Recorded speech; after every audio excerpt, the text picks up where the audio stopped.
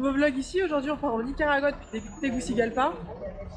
On a pris un premier bus de Tegucigalpa à El Paraíso, ça nous a coûté 108 lempiras et ça a duré 2h15. Et après du coup là on va prendre un autre bus pour Los Manos où il y a la frontière. Puis après du coup voilà on vous montrera. Euh, C'était pas le meilleur des bus, mais bon. En tout cas ça va. On se retrouve tout à l'heure. Bon, du coup, après le Paraiso, le bus il a coûté 20 lempiras pour Los Manos. Ça a duré 30 minutes. Donc là, on est à la frontière, on doit passer euh, le poste d'immigration hondurien, un poste sanitaire et un autre poste d'immigration nicaraguan. Nicaraguien, je sais pas comment on dit. Donc voilà, les normalement. Taux, les taux sont plutôt intéressants, les taux de change. euh, Ouais, pas vraiment. Pas vraiment Non. Donc euh, on a, on avait pas, en fait on avait calculé, on avait, il nous restait pas beaucoup de lempiras donc ça va. Mais ouais les taux de change sont pas hyper intéressants à la frontière donc je vous déconseille d'avoir beaucoup beaucoup d'argent sur vous quoi. Enfin voilà. Bon on a passé la frontière, ça a duré super longtemps, C'est a la duré. euh, frontière la plus lente qu'on ait Ah jamais ouais franchement il faut s'acquitter de 13 dollars de taxes et pour nous donner notre ticket ça a pris genre une heure quoi. C'était vraiment super lent. Ça, on Ah, a passé deux heures à attendre en tout, je crois. Après, du coup, on a, pris un- on a pris deux bus pour se rendre jusqu'à Esteli, qui est notre première étape. Pareil, là, ça a pris du temps, on a pris quasiment trois heures. Euh, mais bon, c'était pas cher du tout, les bus sont vraiment pas chers ici. Et donc là, on est arrivé à Esteli, on a récupéré notre logement, on est allé chercher de l'argent, enfin, on fait tous les petits trucs qui se font quand on change de pays. Il faut aussi qu'on aille chercher une nouvelle carte SIM, tout ça. Donc, on commencera nos petites aventures sympas à Esteli demain, on vous montrera ça. C'est ça. Hola Et ben premier jour de visite d'Esteli, on a trouvé une super pâtisserie. Donc on a pris plein de petits trucs à goûter, j'espère que ça va être bon. Des petits trucs comme ça, pourris avec du fromage ou de la confiture, enfin j'ai pas trop compris. Mais voilà, on va visiter un petit peu la ville ce matin et puis euh, après on va aller à l'hôtel Casaluna parce que c'est un hostel qui propose des tours pour aller voir euh, une fabrique de cigares. Donc on va vous montrer ça, On va essayer de fabriquer notre propre cigare. Ouais. C'est peut-être possible. on verra. C'est une bonne pâtisserie ça. hein. C'est vraiment vraiment bon, je suis étonné.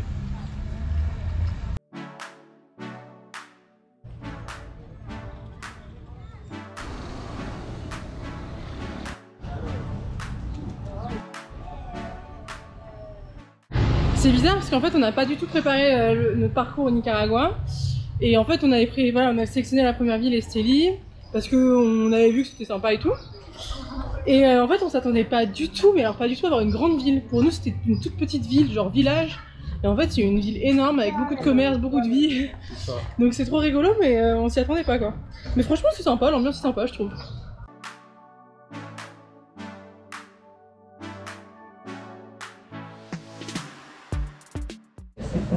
La première étape, c'est d'enlever la tige et de les traiter par couleur.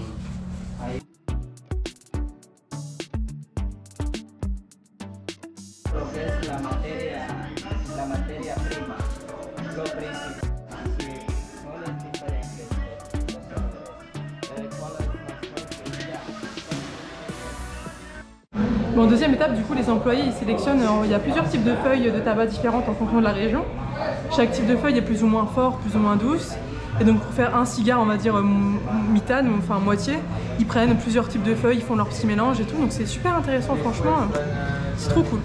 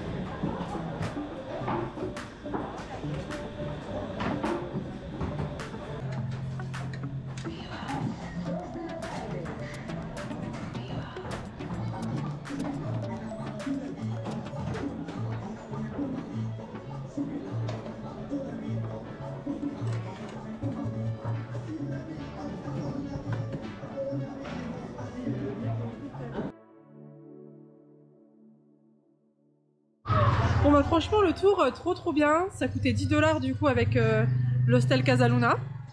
C'est tous les jours euh, de 9h à 9h ou à 13h de l'après-midi, enfin 13h. Et franchement c'est trop intéressant, les gens sont super sympas. Ils nous font faire notre propre cigare. Ouais, franchement c'est cool. si on veut, on peut aller. Parce qu'en fait, euh, ils font le cigare, mais au, dé- au début, il est pas très esthétique. Et après, ça. on peut mettre une feuille plus esthétique. La feuille de présentation du coup. C'est ça. Parce que du coup, les étapes du, pour fabriquer le cigare, comme vous l'avez dit, c'était trier les feuilles et compagnie. Et après, du coup, ils les roulent. Après, ils mettent une jolie feuille de présentation. Et après, du coup, il y a des contrôles, il y a le packaging et compagnie. Et donc, euh, nous, on a fait nos propres cigares, donc c'était marrant. Après, euh, du coup, on les a pas pressés. Non, il y a un temps de presse. Ah, Bah, nous, du coup, on n'a pas pu le faire, mais bon.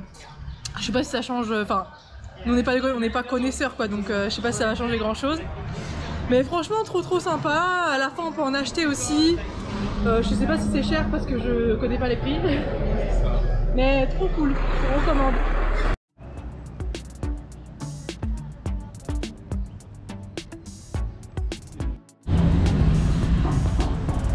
Ça, c'est un plat qui vaut à peine 2 euros. On l'a pris au niveau du, du marché sur la place centrale. Euh, donc voilà, ils, font des, ils les font devant nous et tout. Salut Bon bah nous ce matin on a pris le bus à 6h30 depuis Esteli pour ce moto. On est à 8h30 et il y a un guide qui nous a récupéré parce qu'aujourd'hui on va au canyon de ce moto faire du canyoning. Donc c'est la première fois pour nous deux. Donc on espère que ça va être trop cool. On a pris le plus grand tour qui dure 5 heures. Donc on espère que ça va être cool sinon on va en baver quoi.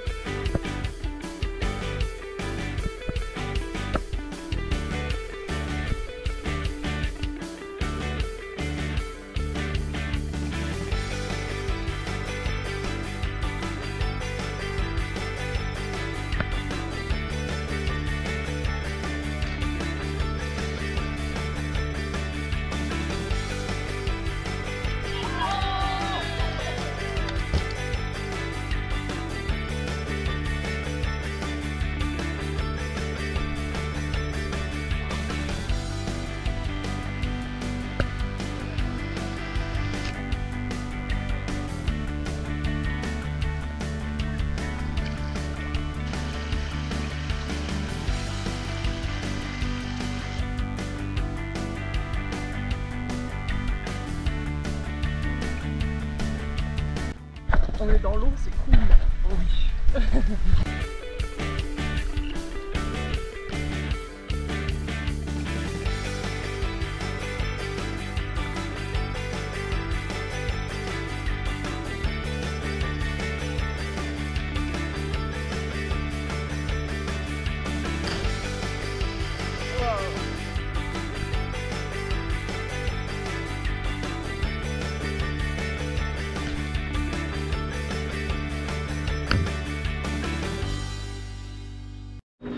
voilà, on est de retour dans notre journée euh, au canyon de Somoto.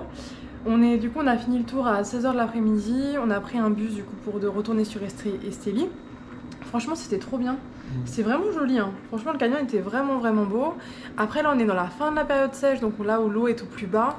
Du coup, il y a quand même pas mal de moments où on a dû marcher, alors que je pense que habituellement, il y a plus de courant, ça se fait plus en mode canyoning. Je tiens juste à préciser, hein, parce que Lucie elle dit qu'il qu'il est très joli.